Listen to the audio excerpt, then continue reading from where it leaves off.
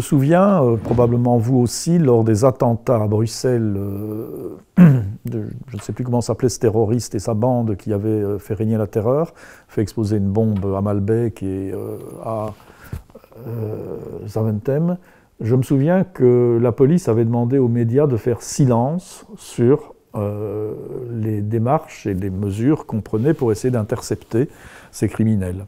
Et je crois que les médias, là, ont observé une espèce de, de, comment dire, de blackout, ou en tout cas de, de mesures pour ne pas brouiller les opérations de police dans une situation qui était de crise très grave. Euh, je pense qu'on serait euh, bien... Euh,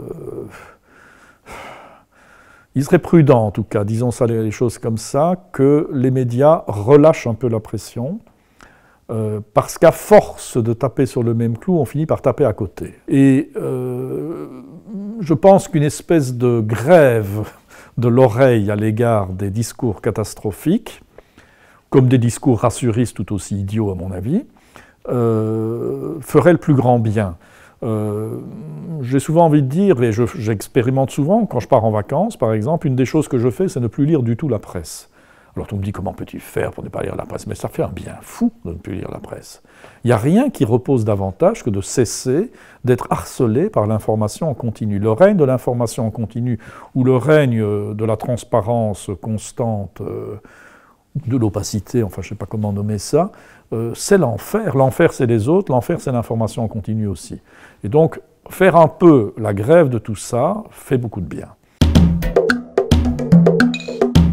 Côté de la presse classique, euh, écrite ou même audiovisuelle, euh, la restriction du nombre des journalistes dans les rédactions, euh, l'emploi de freelance qui sont obligés de produire énormément peu de temps pour arriver à boucler les deux bouts professionnellement et sur le plan de leur, traitement, de faux indépendants pour la plupart, fait d'eux des gibiers désignés pour, d'une part, l'information continue peu recoupée, peu travaillée, fait également des espèces de, journalistes tout-terrain qui ne sont plus spécialistes d'aucun domaine.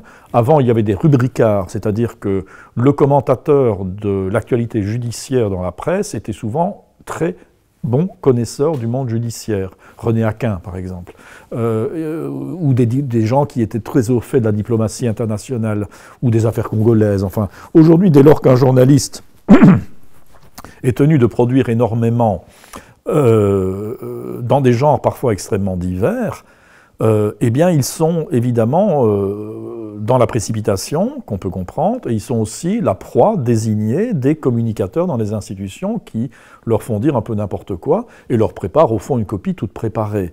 le, le, contrôle de l'information au sens du recoupement de l'information, de sa construction, de sa vérification, de sa validation, ça demande du nombre, ça demande des effectifs, ça demande non seulement du talent, mais ça demande aussi du temps. On revient à la question de rythme que je disais tout à l'heure. L'information en continu ne peut produire des déraillages. Et ces déraillages, on est en plein dedans en situation de crise, il me semble.